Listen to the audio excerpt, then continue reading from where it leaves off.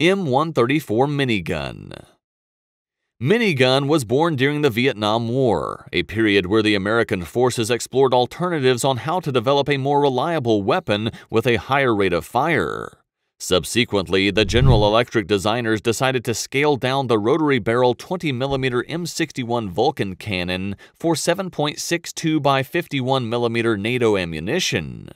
Then, the M134, which was also dubbed with the name minigun, was invented.